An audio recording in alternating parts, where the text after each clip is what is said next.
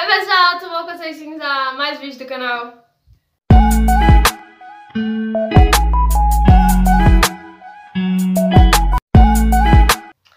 Hoje eu irei fazer um unboxing dessa maravilha aqui. Muito lindo, né gente? Perfeição. Que é a nova edição de capas do livro Pedra Harry Potter e a Pedra Filosofal que é a edição Casas de Hogwarts. Esse aqui é o meu, que eu comprei, que é o da Sonserina. Mas também temos da Grifinória, Lufa-Lufa e Corvinal, que são as casas de Hogwarts, tem os quatro. Cada um desses livros, eles vêm com seus conteúdos extras sobre a sua casa, quiz de Hogwarts, é, e eles, o único que eu acho que vem igual em todos é o quiz de Hogwarts, e é, os 20 anos de magia de J.K. Rowling. Então hoje eu vou estar fazendo um unboxing pra vocês, eu mostrar minha primeira reação lá quando eu peguei o livro. Vou estar mostrando o livro dentro, é, por fora, todo detalhadozinho. Todo detalhadozinho. Agora eu vou falar alguns pontos importantes, né, que todo mundo quer saber. É, quanto foi o livro e quanto tempo demorou, se chegou rápido, onde de comprar e tudo mais. Então, o livro ele saiu, ele custou 70 reais com frete. Então o preço dele, tipo, o frete saiu por 3 reais, se eu não me engano. O preço dele era 80. 80 não. Então, vamos começar aqui pelo preço do frete. É... Então, vamos começar aqui pelo falando o preço dele, que é uma coisa que muita gente quer saber. Se eu não me engano, o preço dele era 68 reais. Ele no todo com frete parece sair por 71 reais para ir o frete parece que foi 3 reais só de frete. Ele chegou tipo em 3 dias. É, 4, 4, 4 foi 3, 4 dias ele lançou dia 31 e só era enviado para as casas dia 2 tava avisando lá logo quando eu comprei eu comprei ele no começo do mês de julho, no final do mês ele é, ia ser lançado para todos e chegava e começava a ser enviado a partir da no dia da segunda-feira, que no caso foi dia 2. Ele chegou aqui em casa dia 6, e tipo, muito rápido. Muito rápido para mim que moro no fim do mundo. Eu comprei ele pela Submarino, que é o, último, o único lugar onde você consegue comprar, porque ele é exclusivo da Submarino. Ele é uma parceria da Submarino com a editora Roupo, que é a editora que fez a versão brasileira dele. Então agora eu vou mostrar, ah, você vai apresentar pra vocês agora o videozinho do meu primeiro contato com o livro e vou estar mostrando pra vocês fazendo um unboxing mais detalhado, mostrando detalhes do livro, aquelas ilustrações lindas que tem nele, então espero que vocês gostem do vídeo. Unboxing! Se você gosta desse tipo de vídeo, não esqueça de deixar seu like, se inscrever no canal e vamos pro unboxing! O vídeo ficou longo, então vou lembrar pra vocês. Nesse momento eu estava chocada, oh meu Deus, meu livro chegou, yes! Vamos tentar abrir o livro. Eu pensei no preço do livro, conversando com a minha irmã. Enquanto isso, vamos lá abrir o livro e mexendo no cabelo. Perceptivamente, tenho uma certa dificuldade para abrir uma caixa do livro, mas quando abro, fico super feliz. Oh, meu Deus, olha que livro lindo. Au, cortando o plastiquinho. Olha, gente, que livro maravilhoso. Hey! Ai, vamos começar. É, vamos começar mostrando aqui a capa pra vocês especificadamente, o livro todo direitinho. Vamos começar por essa capa maravilhosa, que esse tom de preto dela tá perfeito. Os tons que foram escolhidos pra capa ficaram maravilhosos. Na câmera tá parecendo ser mais claro, mas ele é um pouquinho mais escuro. Tudo em alto relevo, certo? Todos os nomes, o brasão aqui, eu acho que dá pra vocês verem que ele brilha. Logo após aqui o nome da J.K. Rowling, Harry Potter e a Pedra Filosofal, e tem esse brasão lindo aqui com o nome Sonserina. E aqui embaixo tem as características da casa, orgulho, ambição e astúcia. Aqui temos o nome da editora Rocco. E temos essa lateral daqui, olha, esse livro foi muito caprichado, muito bonitinho. Aqui temos Harry Potter, aí aqui o animal que simboliza a casa, J.K. Rowling, e a editora Rocco, a mesma coisa que tem ali. Chegando aqui na parte de trás... Ai, bati aqui na ring light.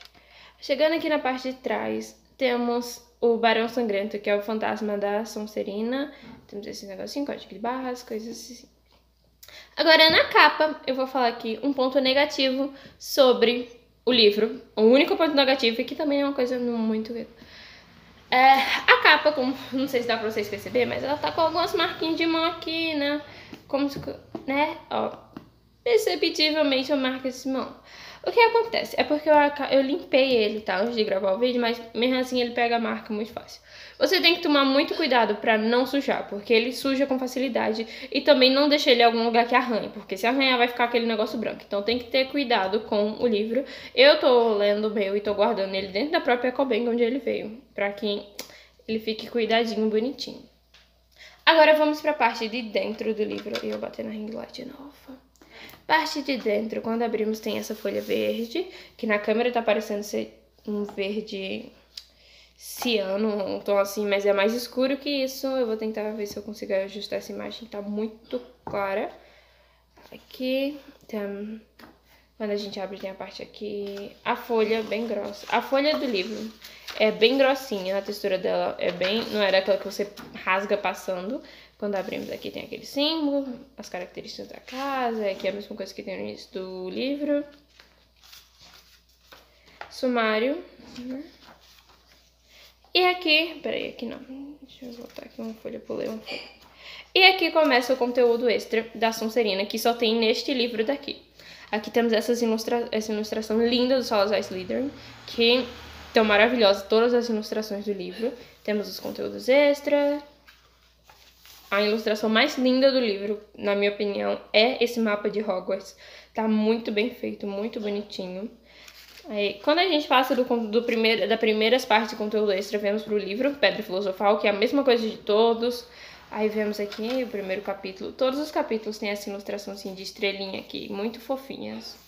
Eu achei linda.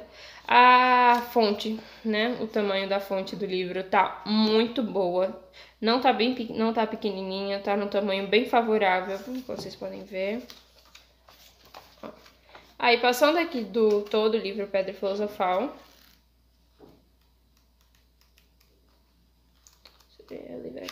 Temos aqui mais conteúdo extra, essa folha. Conteúdo extra que é sobre a seleção, quiz de Hogwarts, Aqui.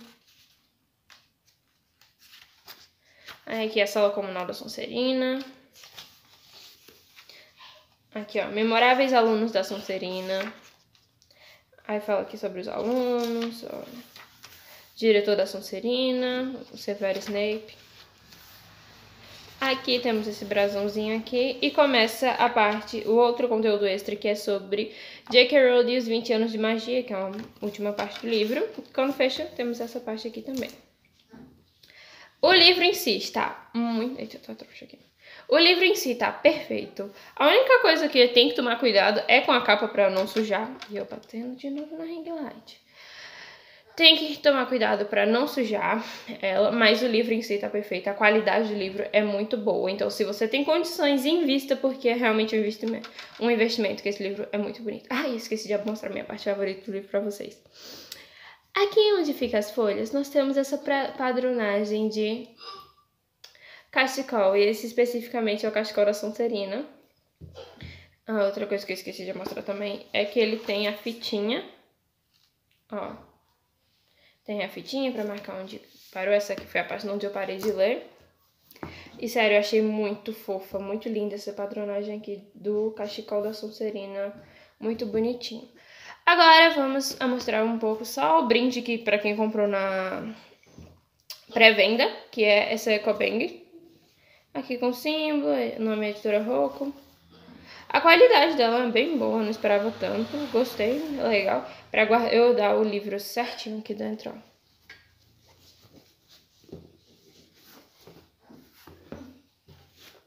Pronto, eu e guardo se você meu livro chegou desse até aqui jeito no vídeo, agora fiquem com compilados de fotos então, galera, foi isso. a capa do vídeo. Ficou bonitinha, mas não bateu, entendeu? Não achei coisa. Essa daí é, não fiquei com os avesgos, não gostei. Não gostei dessa aí, fiquei com um muito falsa. Agora, essa daí quase foi a capa. Quase fiquei com essa foto pra capa do meu vídeo.